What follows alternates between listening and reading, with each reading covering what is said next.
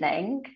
And the, certainly the storms have started to die down a little bit near me, so, but I hope you're all well and safe and comfortable where you're joining us from. Um, my name is Dr. Anna Byrom, and I'm really delighted to be join, joining um, some really wonderful guests this evening to this uh, midwifery and maternity hour. Uh, where we'll be focusing on personalised care and working together. Really important for ensuring that we move together collectively to support safe care for all, safe and personalised care. So I'm really looking forward to hearing from our two guests, two presenters this evening. We've got the wonderful Dr. Claire Feeley and we've got Becky Westbury joining us. Um, so hi, hi to you both. Hi. It's wonderful to be with you both, and thank you for taking time to be together to discuss these important issues. And we're really looking forward to hearing from you. Um, I thought it'd be nice to start with a little overview of things that have been impacting everybody, things that we're all facing and continue to face together as a collective, and then to find out a little bit about how your week's going. So I know that for many of us, we've been facing so much and continue to face so much because of the pandemic. We're still facing the impact of that, both personally and professionally.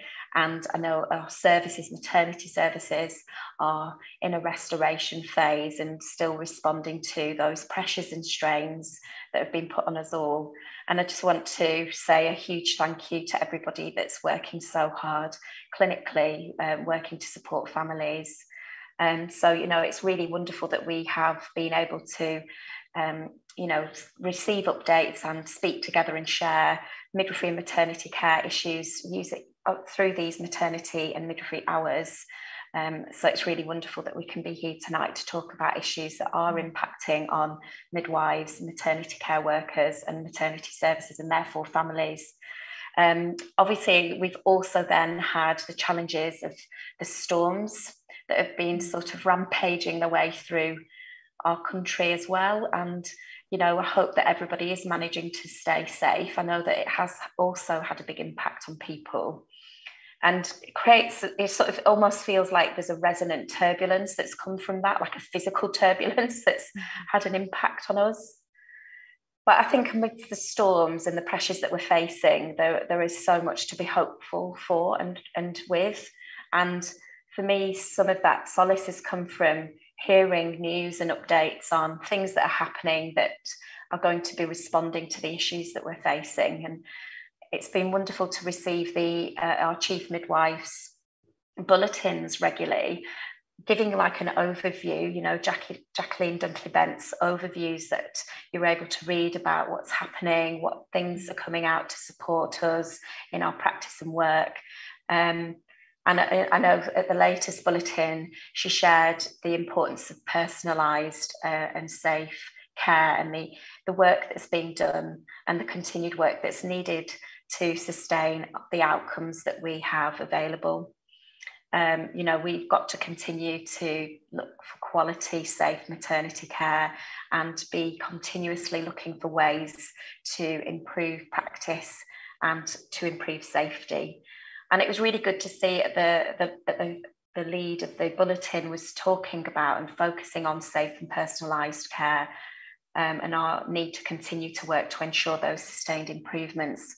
But it was also, and it was definitely heartening to see that we are making headway and all of the important work around reducing stillbirth rates to support families to have improved outcomes. It's, it's wonderful to read those the, the data and to hear that we are making those improvements um, in that area and, and we need to continue to, to work with the same approach and the same collaborative approach to making those improvements as a team.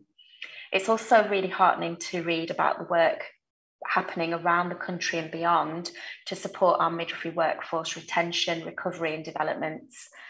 And it's fantastic to see how midwives and families are coming together, women, birthing people, and families are coming together with, through the March with Midwives campaign to really um, press and push for those improvements and to ensure safety, not just for families, but also for everybody working and being cared for in maternity services. And it was really lovely last week. Um, the RCM and Cheryl Samuels and some student midwives were able to deliver the um, petition that Cheryl Samuels started. And it was really, really fantastic to see that that was submitted at 10 Downing Street. Um, again, to promote and support the importance of um, strengthening our midwifery workforce. So I'd, I'd love to now just sort of say a special and warm hello to Dr. Claire Feeley and Becky Westbury, and just to sort of hear a little bit from you both about how your week's been going. And one of the conventions of the Midwifery Hour is that we ask you, you know, what's been a highlight for you this week. So I just thought it'd be nice to come to Becky and ask mm. you how, how your week's been going. Hi Anna. Um, yeah, it's it's been a great week. I think um, perhaps the highlight for me has been I had two weeks annual leave prior to this week, and I had a great time, caught up with friends, um, really switched off from work.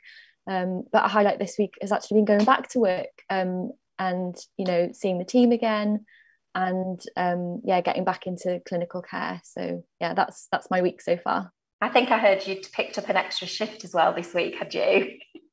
yeah, I did an extra shift today um, to help out because they were short um, because of sickness. But yeah, I've had a great day. Oh, how wonderful. And thank you, Ben, for making time to be here too, Becky. It's wonderful to be with you. Um, hi, Claire. How are you getting on? How's your week going? My week has been good. I'm still uh, acclimatizing to my new job, working out what's what. Uh, but I've had the pleasure this week of exploring iPoetry. So, for any methodologists out there, I've actually been giving it a dabble and a bit of a, a, go, thanks to Gemma McKenzie giving me a little bit of a steer in the right direction. So, thanks, Gemma, if you're watching this. Um, I'm not sure if they're going to be any good to share with the wider audience later on, but it's definitely been nice to have a play and and get back to data, you know, actually immersing back into data. So yeah. And have you have you been writing poetry or have you been just reading other people's poems? So i poetry is a form of data analysis from qualitative data. So you pull out chunks and sections of an interview or interview transcript and you're looking for the I statements and it comes from a method called a feminist method, voice-centered relational method, and it's part of that. Oh. So, and then it's a way of presenting your data um, through poets, poems that a researcher has developed from these mm. I statements or me statements or we statements. So yeah, so yeah, oh, it's a bit different. That. Absolutely love it. It sounds really fascinating, and and I think for me, uh, a highlight of the week, sort of about to come, because um, um, Claire and I are actually sort of fortunate that we're going to be spending time together this weekend doing a writing retreat and just um, spending time immersing ourselves in some of the things that we would like to do to, to kind of things that you end up putting on the back burner that we can actually have center stage and, and also connecting together. So I'm really looking forward to sharing that time with you. Thank oh, you for sharing those. So, um, as usual, um, Claire and Becky are going to be sharing with us some of their insights from their practice and research and all about personalised care this evening. But before we move on to welcoming Becky, it's we've just got a short film to show you, just um, giving some insights into the MatFlix series that are available to support universities. So we'll just watch that film and then I'll introduce Becky and we'll get started with the evening. Thank you. This is a big day for us at MatFlix. We have finally cleared all the hurdles to get on to Open Athens for access in universities, trusts, companies, and anybody else that uses those kinds of systems. So uh, if you're at university, if you're a teacher, if you're a student, then you can get uh, Matflix onto your Open Athens system and begin to access everything. We've published over a thousand maternity and midwifery videos over the past few years, and they've been watched in over 180 countries. Um, but everyone fed back that searching through them and trying to pull them together into presentations was something they would like us to do and to improve the cataloguing. So we're now launching expert box sets and we'll be giving access to people through open access to the huge uh, archive of a thousand of some of the best presentations from uh, maternity experts around the world. The thing about these box sets is that they allow you to find presentations by topic. Uh, they include invaluable research indexes and workbooks, and they provide you with video content you know you can trust. Uh, besides Sue Macdonald's work in curating the original programs and recordings, the box sets have been edited by uh, Jenny Hall, uh, former editor at The Practicing Midwife, and somebody that many educators will know from her time in Bournemouth. Uh, it also saves time and money for educators and employers. It's from trusted experts, trusted selections that are manageable size, size, ideal for training and study, and you can use them. And we found people using them to rehearse for applying for jobs. So, and good for reflective learning. And we already have a whole string of box sets out, and we'll be releasing a new one almost every week through the rest of this year. So the new institutional subscriptions for universities uh, and trusts are on Open Athens now. There's three levels of subscription, one just for students, one for students and staff who want to use it in teaching, want to use clips, and also want to point students towards it for the flipped classroom. And there's also institution wide subscriptions. So, not just for maternity and midwifery students, but for all those uh, medical students, social science students, people doing women's studies, for whom what's happening in maternity and midwifery is really important. So this is a big step up for Matflix. It's a big new service. It helps fund maternity and midwifery hour and the festivals and keep those bits free. So I hope you'll look into it and I hope you can champion it with your institutions. Um, and again, a big thanks to Sue Macdonald and Jenny Hall for all their curating and editorial work. Oh, those um, video box sets look fantastic. And uh, it's now my great pleasure to introduce Becky Westbury, who is a community midwife team leader from the Hywel University Health Board in Wales and is a pas- passionate about supporting choice, home birth, and normality. And she's got experience as a research midwife and has completed her MSc in professional midwifery practice with a dissertation comprising of research exploring midwives' attitudes towards birth outside the guidelines.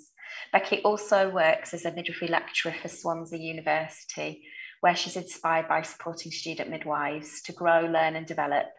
And she thoroughly enjoys her role in practice, achieving excellent continuity with her caseload and regularly supports home births whilst leading a team of exceptional community midwives. Wow, what a busy person.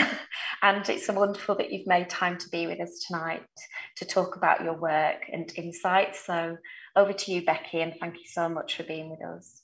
Thank you, Anna. So I'll just get my um, my slides shared. Yeah, that's wonderful. Uh, yeah, it's really wonderful to be here, and I'm really, um, really touched to have been asked actually to join you guys this evening. Um, and what I'm going to be doing this evening is talking about ways in which we've established effective um, partnership working in the area in which I work. Um, so, just to give a bit of background, then I'm going to be sharing how we've established um, collaborative working relationships to provide multidisciplinary support and care um, for women and birthing people choosing to birth outside of guidelines.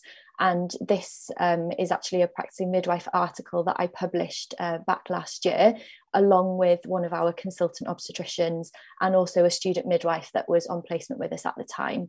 Um, so I feel like that in itself really reflects how collaboratively we work that we um, that we've published this together. So just to look then at um, the area in which I work, um, because I'm conscious that some of the listeners may not be um, be aware with our wonderful about our wonderful little unit. So, uh, as a community midwife, I work out of Bronglais Hospital, which is in Aberystwyth in West Wales. So, we have one maternity ward, which is an obstetric unit, it's a birth centre, it's an antenatal ward, postnatal ward, triage, and day assessment all in one. And we don't have a special care baby unit. Uh, so, for that reason, we have um, quite a set criteria as to who we would recommend births in our obstetric unit. Our neighbouring obstetric unit within our health board is Glangwili Hospital in Carmarthen, which is the bottom arrow there on the map. Uh, so they have an obstetric unit with and alongside MLU, and they also they do have a special care baby unit, and they're situated 46 miles from Bronglais, which is about an hour and 15 um, by road.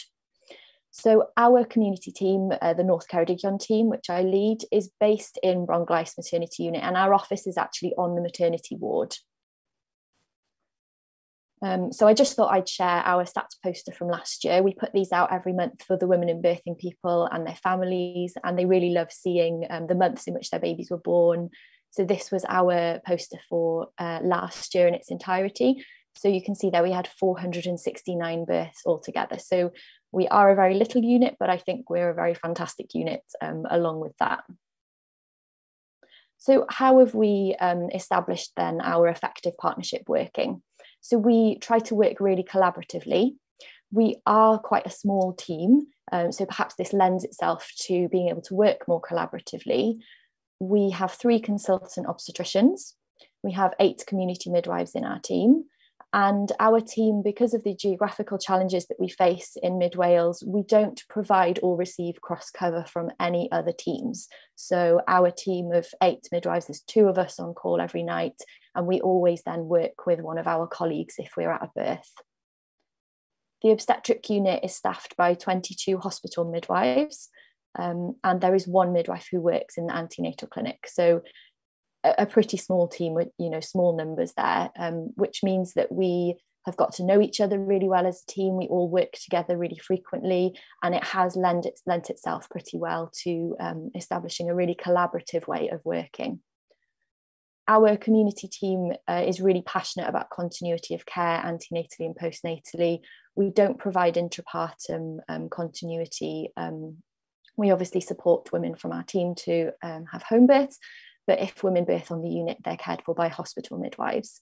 We recently had an audit of uh, the continuity of our team comparing against the, the, um, the aim of uh, women and birthing people seeing a maximum of two midwives antenatally and postnatally. And our team were actually really chuffed to score 100% in that audit. So continuity is something that's really important to us. And I think it's really helped us again in the, uh, the partnership working with um, women and birthing people and multidisciplinary team.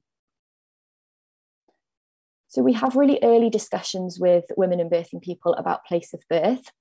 Everybody receives the birthplace decisions leaflet at their booking appointment at around eight weeks. And that highlights to them um, that although they may have a recommended place of birth based on their individual circumstances, they have a choice of place of birth. And those are all outlined in this leaflet, which I'm sure many of you will be aware of. We then also complete a birth preferences discussion with everybody around 36 weeks. And this is the pro forma that we use for that. This is just the first page. And this again gives women and birthing people the opportunity to really think about where they want to have their baby. Uh, it gives us then chance to support them to make um, plans, to receive information, and to perhaps access additional care if necessary um, or indicated. So it really gives them a chance to think about the kind of birth that they want, and it gives us opportunity to be able to support them in that. So as we have discussions with everybody about place of birth, um, our home birth rate then is is quite high because we make everybody aware that they have a choice. Prior to um, three out of the eight of us joining the team um, back in 2018, the team unfortunately didn't have brilliant staffing and weren't able to actively promote the home birth service. But since the staffing improved, um, we have actively promoted the home birth service. Um, being quite a small community, then word of mouth has spread amongst women and families about home birth. And our home birth rate has incre- increased. Um, last year it was 6.1%, which we were absolutely over the moon with. Um, but of course, where we are promoting um, choice in terms of place of birth, our home birth rate has gone up not only for um, women and birthing people who are under midwifery led care, but also for those under obstetric led care um, and are choosing to birth outside of guidelines. So we recognise then that you know we really needed to ensure that we were providing adequate support and working in partnership to support families wanting to birth outside of guidelines.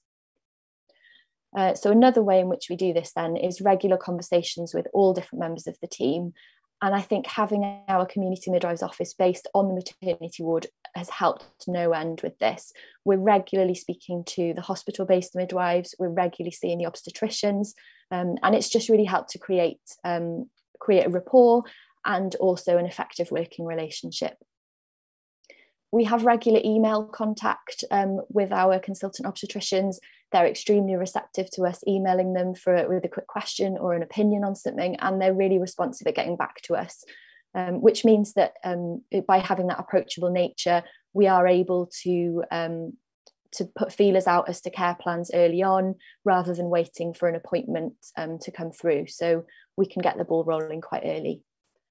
And all of these things have helped us to establish effective and trusting working relationships. So our team of community midwife ha- uh, community midwives has a real passion for supporting informed choice. We, as I said, we discuss place of birth with everybody on our caseload, but we also, um, because of COVID, uh, have moved to Microsoft Teams antenatal education that really looks at um, letting women and birthing people know that they have a choice and that we will support them in making different choices and we like to give them you know all the different information about uh, different places of birth different choices they can make during labour and birth we also then facilitate a home birth evening on teams where we will discuss um, facts and figures surrounding home births. And we'll also invite families who've birthed their babies at home with us to come and join the meeting quickly, uh, share their experience, answer any questions. And we also try as a team to all log in, even if it's just for five minutes, to say a quick hello, so that women and birthing people will be um, will be familiar faces um, to them. That we won't be um, attending their birth without them knowing us. We also are very welcomed to attend um, obstetric-led antenatal clinics in Bronglais. So um, if we have somebody on our caseload who um, we think is uh, considering birthing outside of guidelines, as their named midwife, we will attend their antenatal clinic appointment with them, just to pre- you know, present a united front to the woman or birthing person, but also then because we can sit with them along with the obstetrician and make a plan of care. And we all know what we're contributing to it. We are able to be on the same page. And um, it's evaluated really well with women. They you know they say they feel really supported by us as a team approach um, and that that's what we're aiming for isn't it? We share our care plans widely then with anybody uh, who chooses to birth outside of guidelines. We compile uh, we compile an SBAR so our consultant midwife in Hywel has provided us as community midwives with templates that we can use to have birth choices discussions with women and birthing people. Um, and the templates are for some of the perhaps more commonly encountered um, outside of guidelines requests, such as a vaginal birth after cesarean outside of an obstetric unit, or a woman with a raised BMI wishing to birth outside an obstetric unit, previous PPH. There's multiple ones that we've got. Um, and it enables us then to have the information that we need to discuss um, readily available so that we can give women and birthing people the information that they need to make an informed choice. We have an SBAR folder on the maternity ward where the hospital midwives can quickly access the information that they need um, if those women and birthing people are coming into the unit for any reason. And we have really regular email communication in regards to any plans that we're making. So student midwives that are on placement with us then um, have said that they felt really fortunate to have experiences of being involved in working in this way. So these are our home birth selfies that we take for our team um, and we share them on Twitter with the hashtag home birth just happened, which we'd picked up on from another team we're using it. Um, student midwives in Wales wear purple. So you can see um, the student midwives pictured here with us at births. And the student midwives have said um, that you know that they found it really valuable to be able to be involved in the care planning to such an extent, attending the obstetric clinics as well, and then following through the care, doing the birth plans, and then if they were really lucky, attending the births as well. Another thing that we found really beneficial is to feedback on outcomes. So, if a consultant obstetrician has supported us to plan um, a home birth or an MLU birth outside of guidelines, we'll let that obstetrician know how the birth went, what the outcome was, and how the woman felt about the experience. Um, this picture on the right here is of the coffee pot, the cafetiere that we've got on the maternity ward, because lots of the conversations, lots of these conversations, conversations take place um, over coffee in the coffee room that we all share on the maternity ward. Um, and I feel really lucky that we are able to all share that space and um, benefit from these informal conversations that take place. We're also really proactive um, in our area uh, with regards to learning opportunities.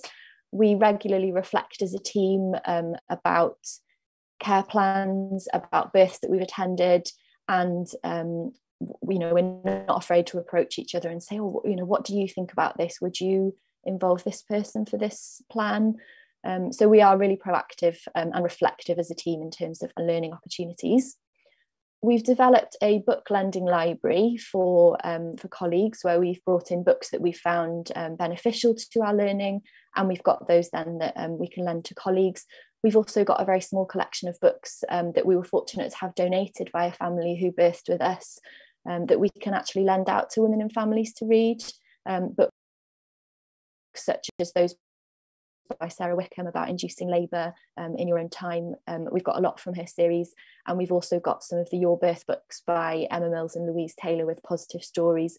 So we lend those out to families, and they really appreciate that. Um, they feel that we're really investing then in their choices and supporting them to make informed decisions.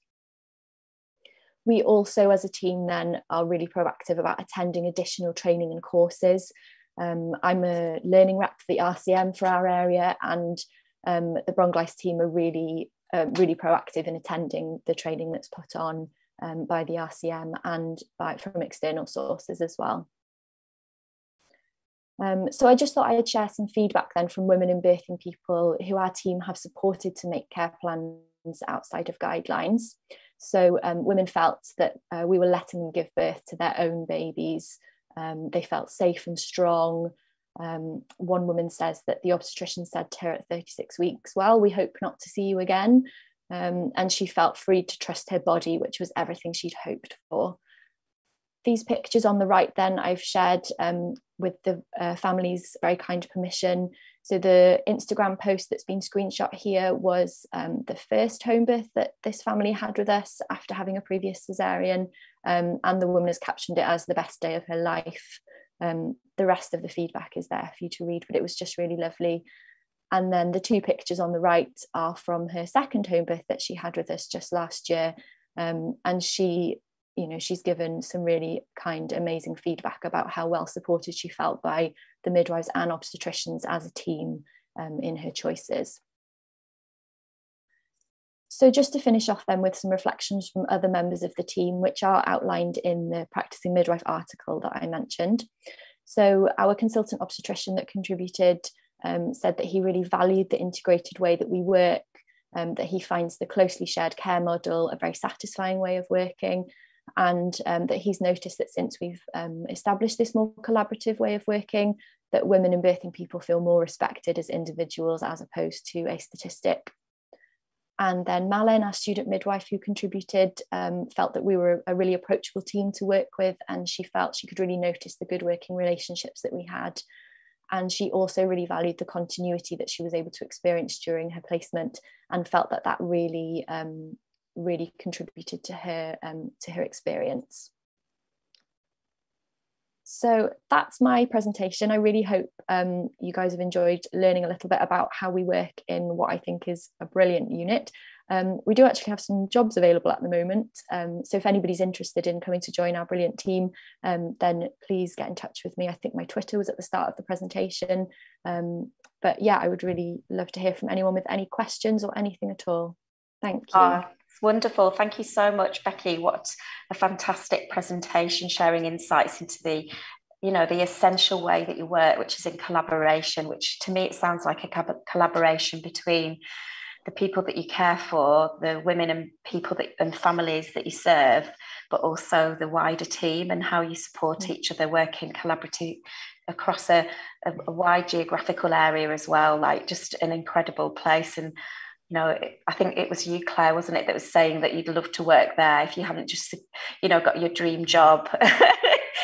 it would have also been such an amazing uh, way of working. And yeah, I just think it was wonderful to listen and hear and and and just feel that sense of community leaping out from the screen at the work that you, you're achieving. And having been a continuity midwife myself in my first job, when I qualified, I just know the rich experience that comes from that, but that key collaborative approach that you that you build in that model of care as well really allows to get so much job satisfaction. And it's lovely to hear that from the obstetric colleagues and the students that are learning with you as well, and obviously the family um, experience, which just makes everything worthwhile. So thank you, and and we, you know, for people watching, if you've got any questions, please please share them for Becky, and we'll look at those after we've heard from Dr. Claire Feeley. So thanks, Becky. You can have a little relax now and Thank enjoy you. Claire's presentation. So Claire, it's so wonderful um, to welcome you uh, to speak again. I know it's been quite recent that you've shared your insights from your research, so it's really wonderful that you can come back and, and share more and more insights about working together in a, for personalised care. Um, so I'd just like to tell people a little bit about you. So Dr. Claire Feeley is a lecturer of midwifery at King's College London, and congratulations on that new position. It's wonderful, and you you'll have an emphasis in that role on research, which I think is really wonderful and important. And as an experienced clinical midwife, educator, and researcher, Claire specialises in normal birth across the risk spectrum, water immersion, human rights frameworks, midwifery practice, skills, and competence all within this important socio-cultural political lens. And Claire's personal research has included free birthing, midwives supporting out of guidelines normal birth care with numerous collaborations in a wider range of topic areas such as assisted vaginal birth, experiences of pharmacological, non pharmacological pain relief methods, water immersion outcomes, and experiences and parent psychosocial needs during neonatal unit care, and patient and public involvement during innovation and continuity of care implementations.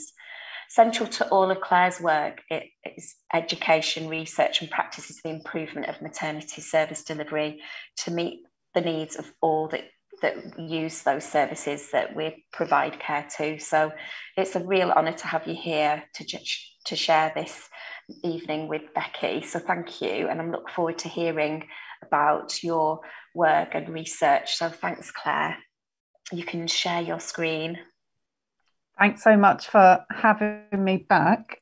Um, and me and Becky, we've had lots of conversations and spent a lot of time together talking about this stuff, but I actually haven't heard a presentation from Becky specifically. Um, I knew it was a wonderful setup, but I have to say my heart was absolutely singing in that presentation. So I'm sure it, resonated um, with other people as well. I'm going to show my screen now, but make sure I've got audio. If I say it out loud, it means I remember these things. Two seconds. Right. Thank you for the lovely introduction, Anna. And uh, many of you would have heard me talk just recently with the wonderful um, Anna Marie Madeley, um, sharing our research research insights. So this is kind of a development and or building on that. Um, and I wanted, I saw this really cute picture and I thought, actually, this is great. Um, this really sums up this idea of working together, that we all need to be working together to support women and birthing people's experiences of maternity care and one that is personalized to the individual but in order to do that and definitely becky's given us the the everyday insights of what that actually looks like you know having a cup of tea sharing office spaces sharing environments because what we need to do in order to um, fulfill the needs of people in our care we need to address the needs of the professionals. So we can all authentically support that individualized safe care And this, what I'm talking about tonight, is was also published in the Practicing Midwife, and it's there this month. Um, and there's the citation there, and I think someone's going to pop the link into the chat uh, so you can link straight to it. So you know, I can. There's more details in there. of course, and I won't spend too much time on this because we all know this. We know choices matter, and we know that women and birthing people deserve and should expect to maintain control, dignity, respect, and bodily autonomy. And this is all linked to the human rights and childbirth framework. And all of this is linked to safe and personalised care. But we know we are living in a very complex cultural uh, arena, if you like, where we know choice and autonomy. We've got a very strong rhetoric for that. We've got the best legislation in the world, I would argue. We've got some of the best policy in the world. But we know on the ground and in reality, actually delivering and fulfilling a truly autonomous agenda can be very challenging. And this can be a combination of, of reasons, wider discourses around medicalisation, institutionalisation, perhaps more so than medicalisation. We've got risk averse litigation and um, issues around, um, or challenges, should I say, with government governance, not governments, governance. And of course, at the simultaneously, we've got issues for those people who do want extra uh, medical care, me- medical interventions, they also find it challenging to get their needs met.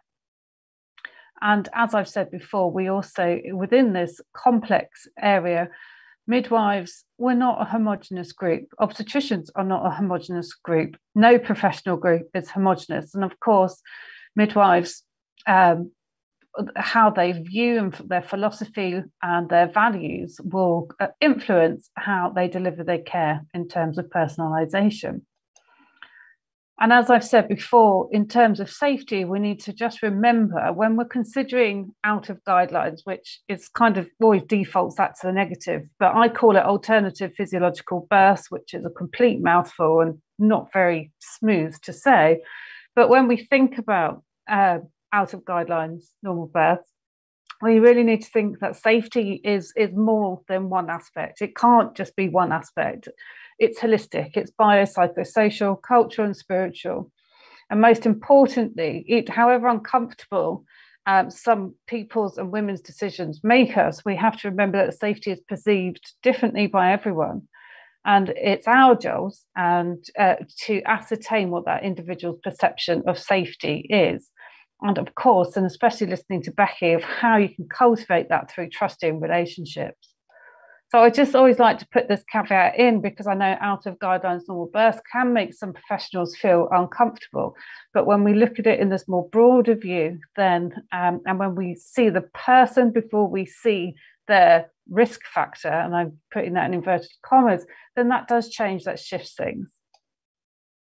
And as you know, you've seen this before, many of you have seen this before, the types of decisions that the midwives in my PhD study were involved with. And you've got, you know, either women with healthy pregnancies but declining aspects of care like uh, care like examinations or post-dates inductions or you've got women or birthing people with more complicated pregnancy perhaps obstetric risk factors or medical um, issues but I always like to put an acknowledgement here because, as much as um, I've spent a lot of time immersed in the literature, in the research, and carrying out the research, particularly for women who adopted to free birth, you know, prior to this particular study, I think it's also really important to appreciate and for me to fully acknowledge the challenges that midwives face when someone does opt for outside the guidelines. While many of the midwives in my study, PhD study, did face pressures, and I shared that with you last time, they personally and proactively supported these choices. So their philosophy and skills were aligned to those decisions. And I appreciate that isn't the same for everyone.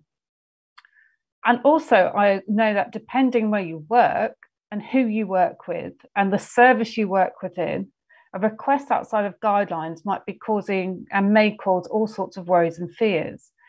Sometimes women making these choices can stir feelings of uh, concern and anxiety, and sometimes we can catastrophize, worrying about um, you know, jumping to the adverse outcome and risk, uh, risk of litigation. And this is particularly worrying, and particularly frightening if you haven't experienced um, a, that particular type of birth choice if you've not been involved in the care. And as we, again you know linking back to becky's presentation thinking about the experience embodied experience that her and her colleagues are building up over time as they support true personalized care. But if it's the first time you've come across perhaps someone wanting a vaginal birth after cesarean at home then it's understandable and natural for it to feel somewhat you know, slight concern um, and if you're not in a supportive and enabling environment, then that can actually feel quite threatening uh, for women making some of these decisions. And we know that through the research. I know that from my research that I shared with you last time, that some of you are going to be listening tonight, are going to be working in very challenging work environments and where people and your colleagues don't necessarily support women's full autonomy. So I just wanted to acknowledge that and also acknowledge that we all have our own reactions and responses when we are offering truly personalized care. And that is completely normal and natural but our job is to be able to be self-aware and be able to put those things to one side of course. But we also need to be in supportive environments which is where a lot of uh, a lot of this model has come from. So you've seen this before, many of you have seen this before. We know how the midwives delivered the personalised care for alternative physiological births. And broadly, you can see active support, relational trusting care, ongoing discussions, finding out what a person's non negotiables were, care planning, liaising with the multidisciplinary team as appropriate. But depending where the midwives worked, this could be a really straightforward process or a super challenging process requiring lots of emotional or mental labour. And in my study, the midwives worked in a range of environments where for some, this care was the absolute norm, and for others, it was delivering this care was wrought with difficulties and challenges. But in my last talks, where I presented uh, this second analysis that explored the midwives' experiences of delivering their care and very much talked about their workplace environments and how much that influenced how the midwives were able to get on with the job and certainly how they felt and experienced delivering personalised care. But on reflection from that last presentation, I realised I did focus too much on the negative. And as you can see from this little um, diagram here, there was much more to it um, there was much more rich stories beyond the stories of distress. And I just wanted to counterbalance that and share with you just briefly um, something from the stories of fulfillment before moving on to the model itself, because it is really important to learn from what works and where it's working well. And we've already had this inspirational uh, presentation from Becky, and this hopefully reinforces that. So in the study of 45 midwives, 21, and how inspiring and optimistic does that make us? 21 out of the 45 actually uh, had what how I captured these stories of fulfillment. And for some, I remember last time I talked about very much it was the workplace that mediated how midwives felt and experienced their practice. So, in the stories of fulfillment, for some of the midwives, this related to the sense of the ordinary, where their midwife uh, practice was marked by a lack of conflict, animosity, or distress. Rather, they were just simply able to get on with the job. And then that was because the midwives were in supportive working environments where women's alternative choices were mostly accepted and midwives' practice was supported from across the organisation.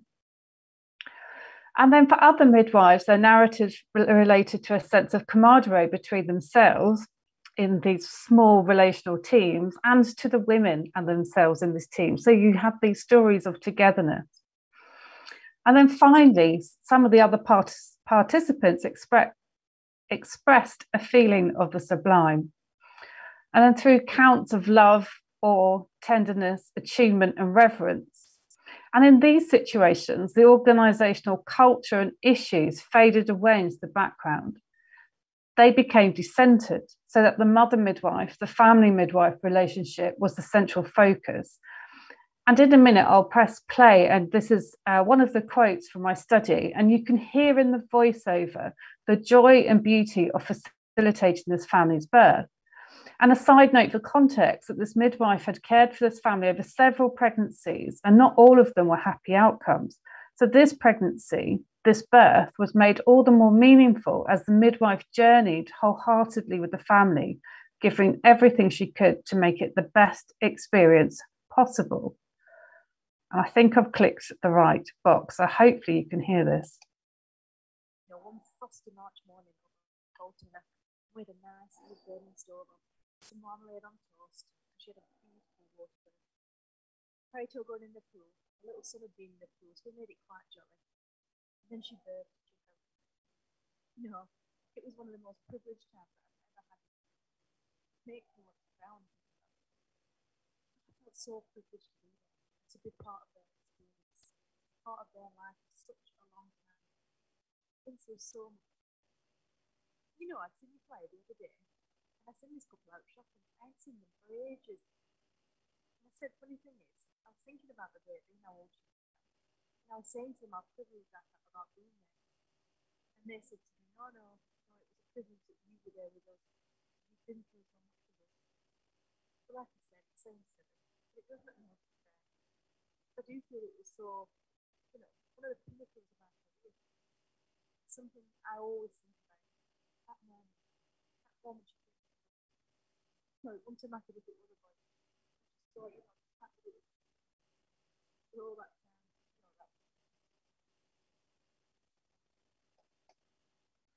So just to counterbalance the perhaps more negative from the last presentation.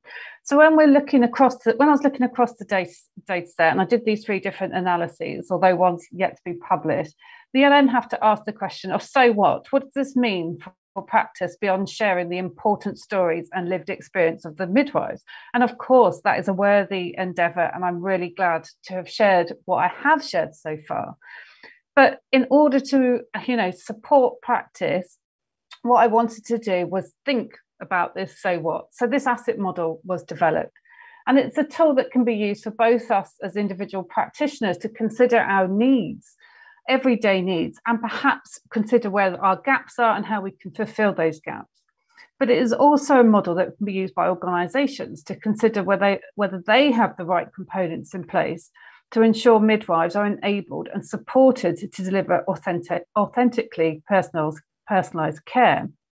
And we know it's a key policy driver at the moment. So perhaps this could possibly help. So, this model, a play on the word asset, is to show that midwives are the asset for women and birthing people to get their needs met. And it also situates what midwives need from an individual level across to an organisational level. And as you can see from these words here. And the idea here is that while individual midwives, yes, make a big difference to women's experiences of care, it is essential that personalised care, out of guidelines care, is viewed as a collective responsibility whereby the service is able to meet the needs of the women by supporting the midwives and, of course, obstetricians and wider MDT to deliver the care that they are trained to do. So, I'm just briefly going to go through two aspects of this because I think they're particularly pertinent at the moment. And if we think about skills and skill development, as is something midwives need. So it's absolutely essential. And for the midwives in this study, they shared the extensive experience they had in supporting physiological labour and birth. They had expertise and which created the competence to apply those skills to more complex alternative birthing decisions or situations. So, when facing a complex alternative birthing decision, such as twins in water, they referred back to their knowledge, knowledge of anatomy and physiology and applied it to the current situation. And so, working through a range of possible scenarios, practical simulations, the midwives demonstrated careful planning and contingency planning based on enhancing the physiology. Such expertise was gained from actively seeking opportunities, either as a student or once qualified.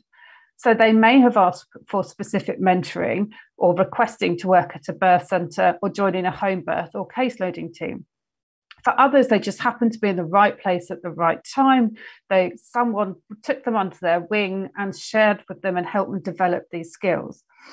So, for safe care, we need to think about um, it cannot be the individual burden to get these skills. It must be supported from a systems approach uh, to cultivate and develop, enhance, and keep creating the opportunities for the skills. And this is, of course, links to CPD. And it's, the, it's got to be the role of the organisation to help midwives access opportunities for ongoing skill development in, phys- in physiological births. Trust must ensure that these training needs and development are met for midwives working in all areas of clinical practice, particularly with the continuity rollout. And lots of midwives are moving from their usual place of work. This is an ideal opportunity to upskill and reskill the workforce, as is going on already. And we can see a great example by Dr. Shawn Walker, what she's doing around breech birth gives us all optimism to demonstrate how where skills have been lost we not only can we regain those skills but we can actually improve on what we were doing before and then finally i just wanted to focus this is probably one of the most important parts of the model when we think about we've got to keep a systems approach in mind yes individual midwives we do have a responsibility for our own learning and education but we also need to um, consider where we are in the ecosystem of NHS care. So, in opnology and some of the fears around supporting these birth choices, this is where the systems approach is vital. And as I've said, we have we do have an individual ethical and moral legal duties in terms of the care that we give, but we also have to address the systemic issues. And as I've said before, some of the participants in my study did work in hostile environments where gem- the general culture was unsupportive of midwifery and women's autonomy, and there was negative, poor working relationships.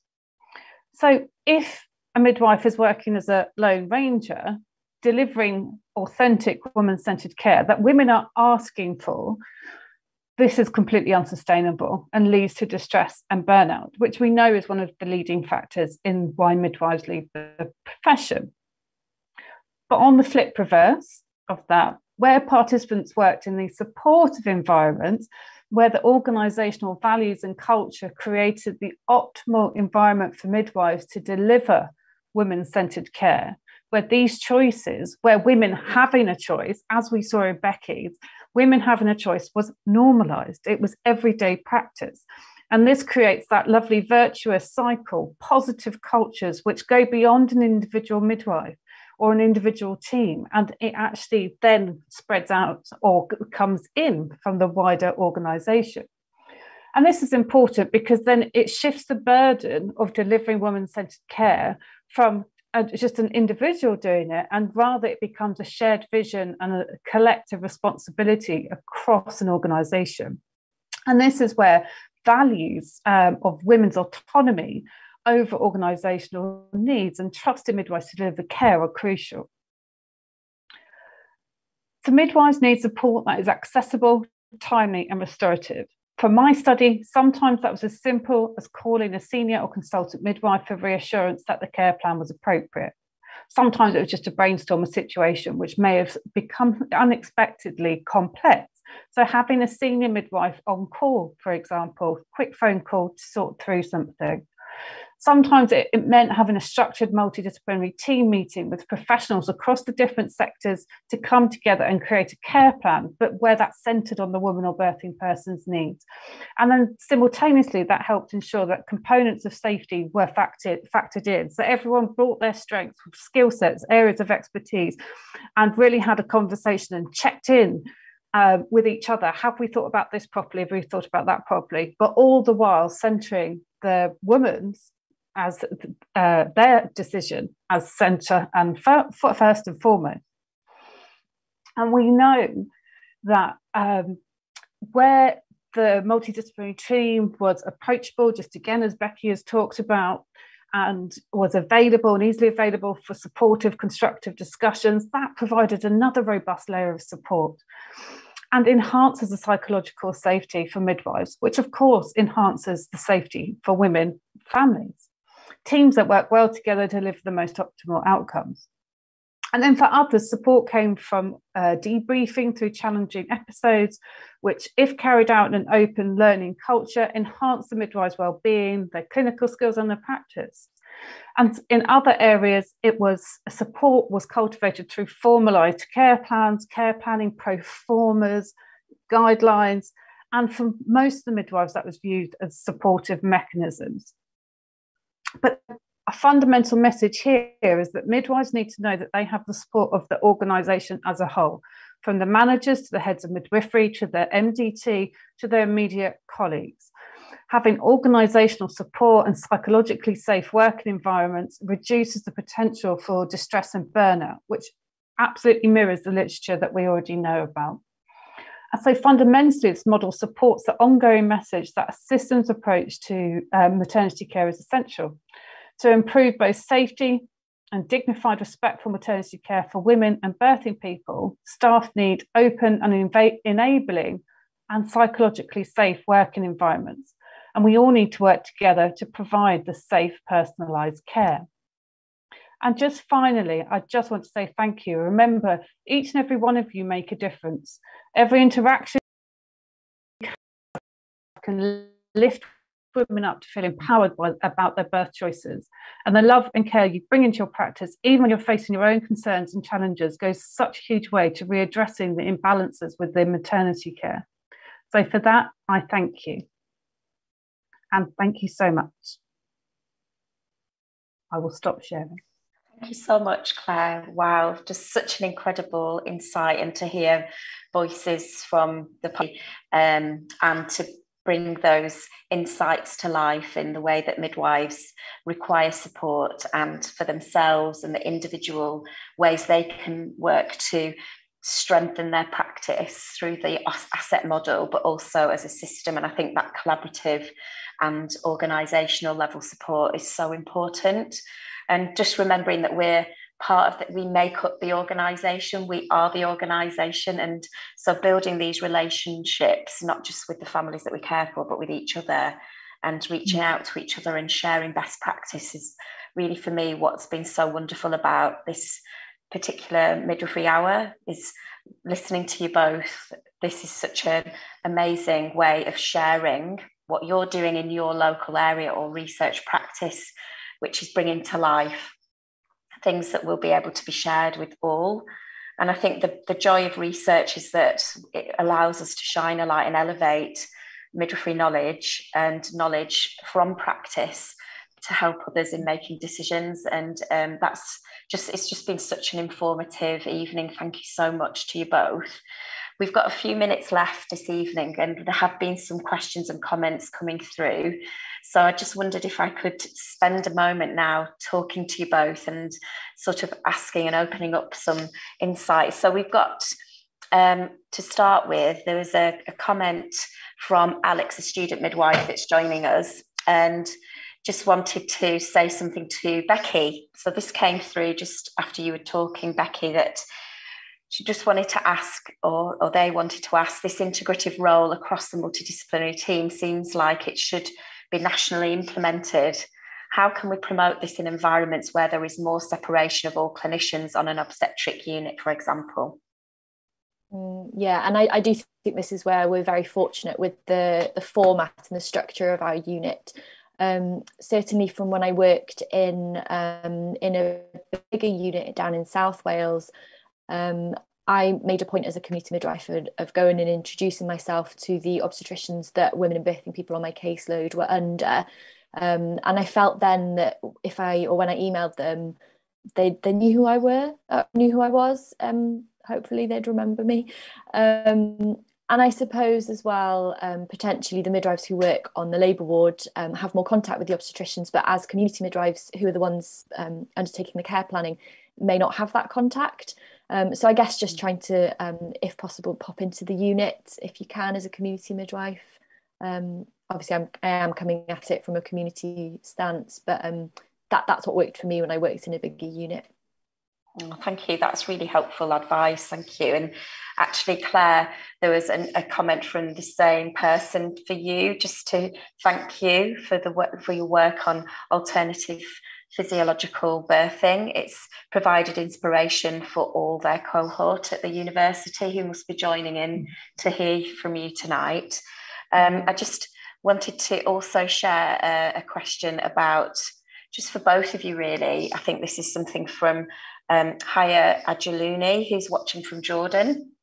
And it's actually a question about uh, student midwives and you know how welcomed they are in birthing environments and you know maybe how they can also adopt the asset model so i thought maybe becky if you could talk about how students are integrated into your team specifically and and especially in the presence of women and birthing people and then maybe claire would you be able to talk a little bit about how the asset model could be used by students too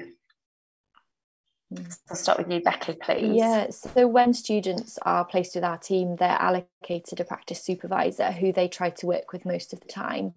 Um, and I think because our team achieves such great continuity antenatally, um, the student midwives have the opportunity, if they work with the same midwife, to see the same families repeatedly. Um, and that's evaluated really well, not just with the students, but with the families themselves. Mm. Um, we, we collect feedback from um, everyone who uses our service. Um, and a lot of them actually comment on and name student midwife specifically that they've seen multiple times, um, which is really lovely. Um, I think as well then when it comes to welcoming student midwives into um, birthing environments, if um, families have seen student midwives antenatally um, and had a good experience, then you know they recognise that actually they can be really valuable to their care. and are perhaps you know more receptive and happier to have student midwives involved.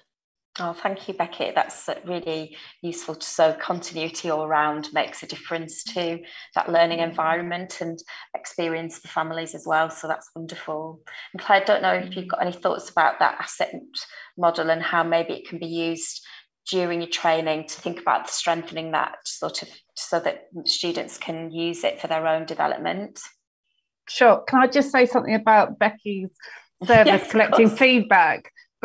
Um, if if I can, any of the other midwives um, who are in service at the moment, I really encourage you to do what they're doing, um, because it's just such an important piece of data, and it's all very formal to say that. But you can go share that with your colleagues who perhaps aren't so comfortable, and you can start this other virtuous cycle of promoting um, positive practice, and that's something that's actually in my article.